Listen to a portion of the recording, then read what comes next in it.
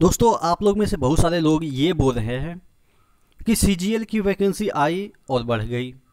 MTS की vacancy आई और बढ़ गई।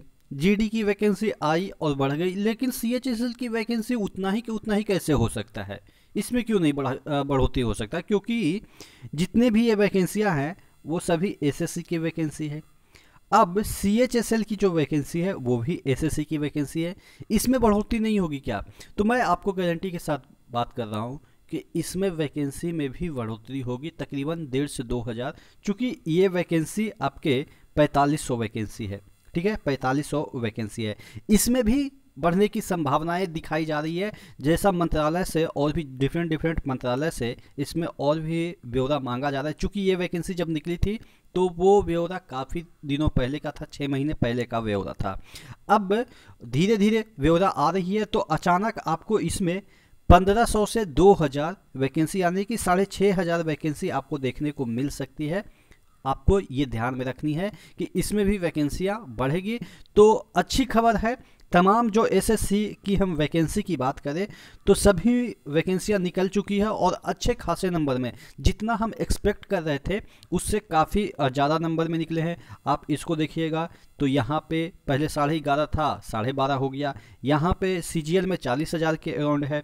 आपके जीडी में फोर्टी फाइव थाउज़ेंड के अराउंड है। तो यानी कि वैकेंसियाँ तो काफ़ी है बट आपको क्या करना है कि अपने आप को इस तरह से प्रिपेयर करना है कि CGL हो MTS हो GD हो या CHSL हो, कहीं ना कहीं एक जगह आपको फिट कर लेनी है। तो आपका जो रास्ता है वो आसान हो जाएगा। चलिए CGL का मैं मानता हूँ कि थोड़ा सा पेपर टफ होगा या उसमें अभी एक्सपीरियंस नहीं है तो नहीं हो पाएगा। लेकिन M T S G D C H S L तो आपके लिए धुआँ धुआँ का खेल होगा। तो इसको आसानी से कहीं ना कहीं फंसिए, क्योंकि जो सिलेबस है ना, लगभग सबका समान ही है। इंग्लिश सब में है। यहाँ पे देखिएगा, जीडी में भी इंग्लिश है एमटीएस में भी इंग्लिश है सीएचएसएल में सीजीएल में भी इंग्लिश है जीके सब में है।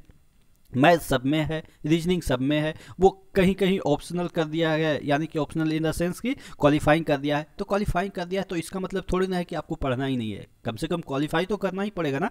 तो अच्छी खबर है सी एच एस एल की वैकेंसी बढ़ेगी, और जो भी एस एस से रिलेटेड रिलेटेड जितने भी न्यूज़ हैं, इस चैनल पर कवर होंगे। मैं खुद एस एस सी एस्पिरेंट रहा हूँ, मैं खुद एस एस सी को क्रैक किया हूँ C H S L C G L और जो सी जी एल का मेंस दिया हूँ और सी एच एस एल और एम टी एस को ज्वाइन नहीं किया था, मैंने बताया ही था, किस वजह से नहीं ज्वाइन किया।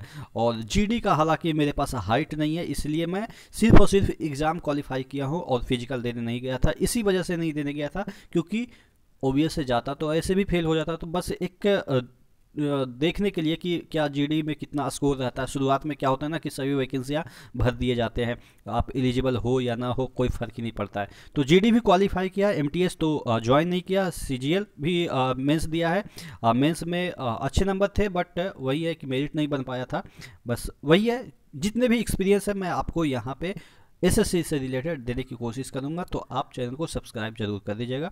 रिक्वेस्ट कर रहा हूँ, वो तो आपकी मर्ज़ी है। कोई उंगली पकड़ के थोड़ी ना करवा सकते चलिए, ठीक है तो नेक्स्ट वीडियो मिलते हैं। तब तक के लिए जय